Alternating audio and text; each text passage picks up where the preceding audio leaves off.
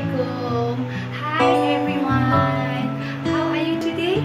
I hope you are fine, children. Okay, today we want to make an experiment. It's about float and sing.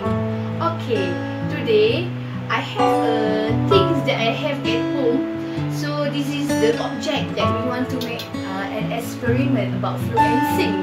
Um, I have uh, this is an object. I have a ball.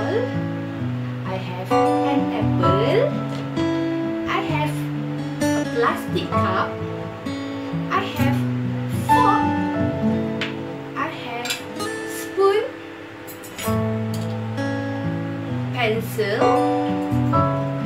Ice cream stick.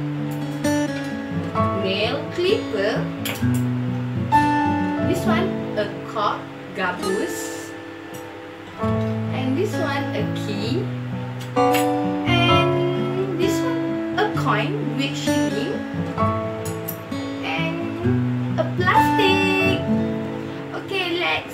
We do an experiment about float and sing because I'm so excited to do it.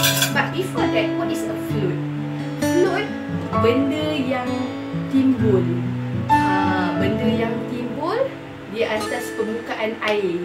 Uh, benda yang orang kata uh, ringan benda yang ringan yang boleh timbul atas air dia juga mengikut kepada ketumpatan uh, sesuatu objek tu lah and sink ialah benda yang tenggelam benda yang uh, berat lah contohnya macam kita baling batu a stone inside the water dia terus jatuh dalam air tenggelam terus dalam air uh, Okay, so come let's do an experiment.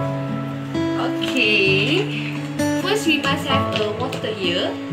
So let me try the object first. Uh, I try an apple. What happened to apple when we uh, put inside the water? Whether it's a float or sink. Okay, let's see, children.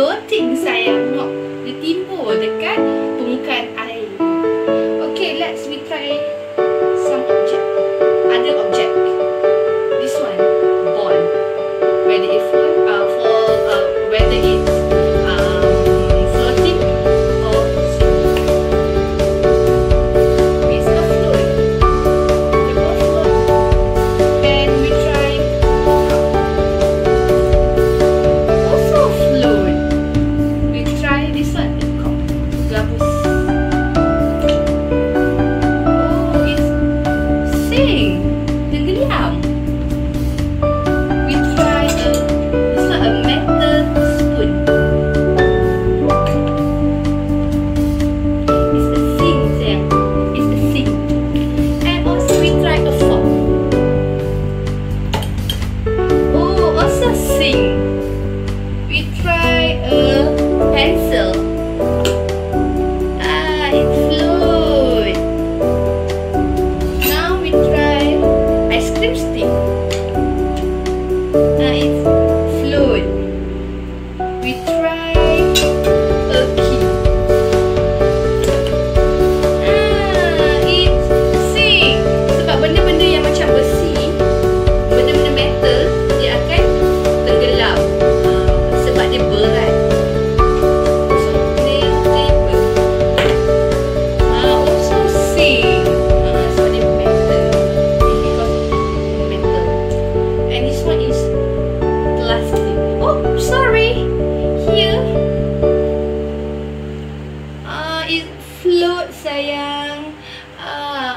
That, after you make an experiment here, you need to do the the jadual here. You need to record what happened to your things, whether it sink or float.